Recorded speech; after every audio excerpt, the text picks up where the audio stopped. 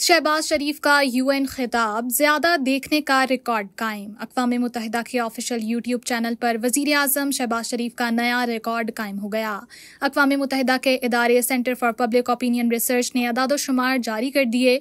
अकवा मुतहदा के official YouTube channel पर वज़ीर अजम शहबाज शरीफ का खिताब सबसे ज़्यादा बार देखा गया।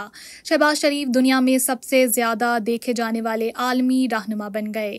अदादोशुमार के मुताबिक वज़ीर अजम शहबाज शरीफ के अकवा मुतहदा के जनरल असम्बली के अजलास से खिताब को अमरीकी सदर जो बाइडन से भी ज़्यादा बार देखा गया। अमरीकी सदर जो बाइडन का खिताब एक लाख एक हज़ार, चीन के वज़ीर खारजा विंग यी का खिताब इक्यासी हज़ार, तुर्की के सदर रजब तैयब उर्दगान का खिताब इक्यावन हज़ार और भारतीय वज़ीर खारजा जय शंकर का खिताब इक्यावन हज़ार लोगों ने देखा। दूसरी जानब वज़ीर आज़म शहबाज शरीफ का अकवा मुतहदा के अजलास से खिताब को यूएन ऑफिशियल यूट्यूब चैनल पर एक लाख सैंतीस हज़ार लोगों ने देखा। वाज रहे दुनिया भर के कायदीन का जनरल असम्बली से खिताब U N official YouTube channel पर बराह रास्त नशर किया गया था। अल जजीरा के टिकटॉक अकाउंट पर भी वज़ीर आज़म शहबाज शरीफ का खिताब सोलह लाख लोगों ने देखा।